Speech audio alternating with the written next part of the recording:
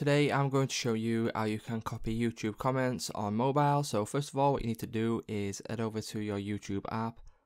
Once you open up your YouTube app you need to go to the video that you want to you know copy a comment on. So for example if I just choose this video here what you want to do now is as you can see if you go to the comments you can't actually go ahead and copy the comments from the YouTube app. So what you need to do is you need to go to just under the title there and click on the share button click on copy link and then now you need to head over to a browser. So I will open up Google Chrome here and then what I will do is I will paste this right there in the search bar and then it will open up this video. So just go down to the comments section now, click on the comments and then go to the comment that you want to copy. So if I just copy this one here, what you can do is click and hold down. Once you do that, you will get this little box here and then you can click and drag it and then click on copy. So that's how you can copy YouTube comments on your mobile.